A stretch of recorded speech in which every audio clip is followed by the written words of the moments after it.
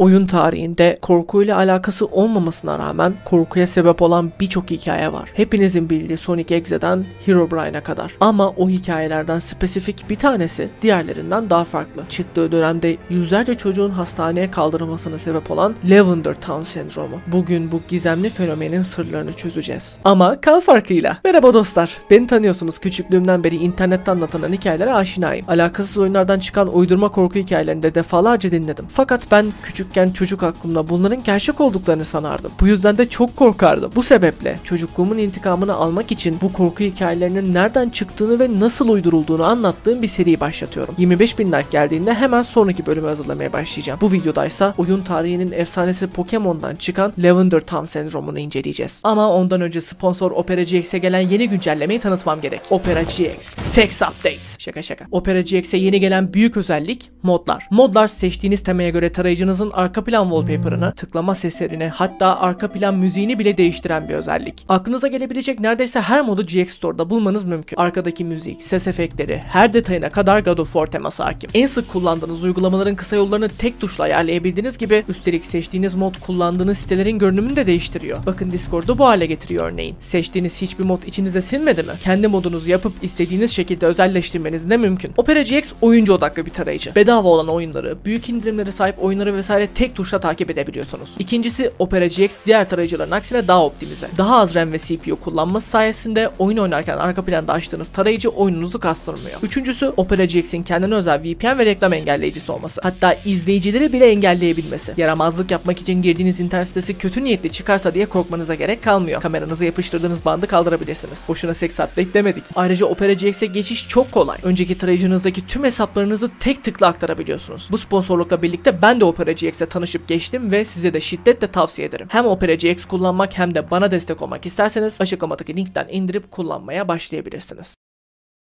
Tarih 27 Şubat 1996. İlk Pokemon oyunları Pokemon Red ve Blue, Nintendo'nun oyun konsolu Game Boy için Japonya'da satışa çıktı. Oyunun mantığı basitti. Şehirden şehire git, o şehirlerin liderlerini yenip rozetlerini topla ve 8 rozeti toplayıp şampiyon ol. Çocuklar oyunu oynayıp bir süre ilerledikten sonra bir şehre girdiler ve işler burada değişti.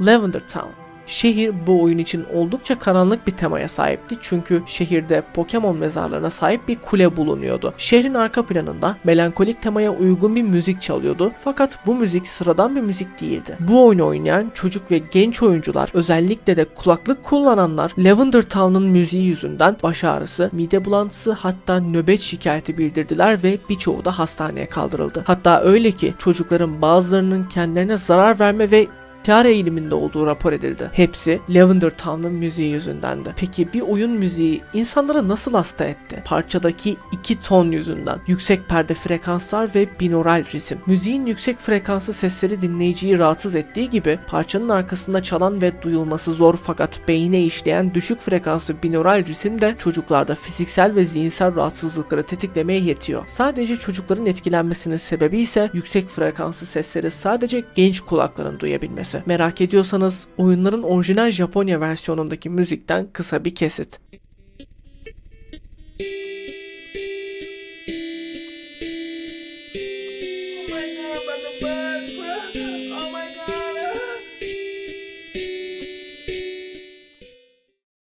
Peki oyunun yapımcı stüdyosu Game Freak neden böyle bir şey yapsın? Neden çocukların zarar görmesine sebep olabilecek bir müzik hazırlasınlar ki? Bunun hakkında birçok teori mevcut. İlki Nintendo'nun Japon hükümetiyle birlikte çalıştığı teorisi. Japon hükümeti zihin kontrol deneyi yapmak istedi ve bunu tüm Japon halkının elinde bulunan Game Boy'lar üstünden yapmaya karar kıldı. İkincisi oyunun yaratıcısı otistik Satoshi Tajiri'nin çocuklardan nefret etmesi. Kendisi bir röportajda şunları söylemişti.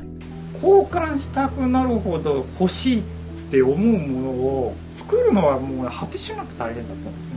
果てしのない道に行ったなと Olayın gizemini çözmeye çalışan uzmanlar müziği spektrogram altında inceledi ve korkunç bir gerçekle karşılaştılar. Spektrogramda oyunda Lavender Town'da da görünen hayalet Pokemon'un görseliyle Unknown isimli her biri bir harfi temsil eden Pokemon'larla yazılan bir cümleyle karşılaştılar. Cümlede de Leave Now yani git buradan yazıyordu. Olaylar internette anlatılmaya başlandı ve ağızdan ağıza yayıldı. Gizemi çözülemeyen bir fenomen haline geldi.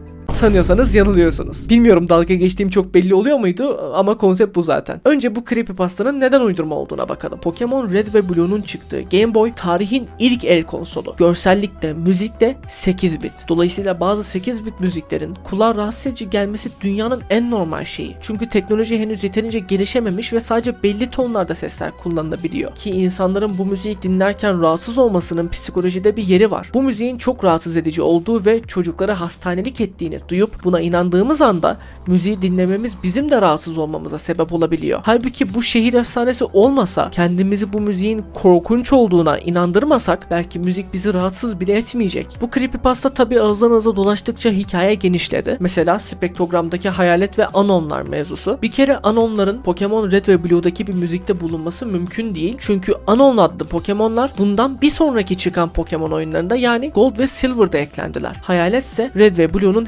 hikayesiyle ilgili. Bilmeyenler için Rocket takımı Pokemon'ları yakalayıp onlara eziyet eden kötü bir çete. Bir Cubone ve onun annesi olan bir Marowak yakalıyorlar ve anne Marowak'ı öldürüyorlar. Zavallı Marowak'ın ruhu da huzuru bulamadığı için mezarlık şehri Lavender Town'un kulesinde gezip duruyor ve ziyaretçileri rahatsız ediyor. Oyunda kulenin en tepesine çıkmamız gerekiyorken Marowak'ın ruhu bizi durduruyor ve bizim de onu aşabilmemiz için gidip Rocket takımı lideri Giovanni'yi bir güzel dövüp elindeki özel dürbünü alıp o özel dürbünü hayalete karşı kullanmamız gerekiyor. Dürbünle hayalete baktığımızda da Marowak ortaya çıkıyor. Sonra da yolumuza devam ediyoruz. 96 yılında çıkmış 8 bitlik bir oyun için tatlı bir hikaye. Bu hikayeyi de Lavender Town creepypastasına yedirmek isteyen birileri gitmiş spektrograma bu görselleri yerleştirmişler ama yok öyle bir şey. Müziğin üstünde oynanmış. Yani müziğin orijinalinde böyle bir şey yok. Montaj tamamen. Ki bunların hepsi bir kenara. O dönemde hastane kayıtlarında böyle bir olaya dair hiçbir şey rapor edilmemiş. Hani toplu bir şikayet falan yok. Buna benzer bir hikaye Pokemon animesinin bir bölümü için de anlatılırdı. Porygon'la ilgili bir bölümde ekranda mavi ve kırmızı ışıkların hızlıca yanması yüzünden televizyon başında epilepsi nöbeti geçiren yüzlerce Japon çocuğun olduğunu anlatan bir hikaye de var. Ama o da kolpa elbette. Hastane kayıtlarında yine hiçbir kanıt yok. Peki bunları kim uydurdu? Hikaye nereden ortaya çıktı? Elbette 4chan'den. Arkadaşım Başo'yu takip ediyorsanız aşinasınızdır zaten. İnternetin en büyük şakaları, en kolpa hikayeleri hep 4chan'den çıkıyor. Bu olay da 4chan'de uydurulup anlatılmış. Ardından da 2010'larda creepypastaların altın çağında iyice yaygınlaşmış. Konunun videosunu çeken YouTuber'lar sayesinde de artık herkes biliyor. Ve muhtemelen aramızda küçük arkadaşlar varsa aralarında buna inananlar bile olabilir. Ama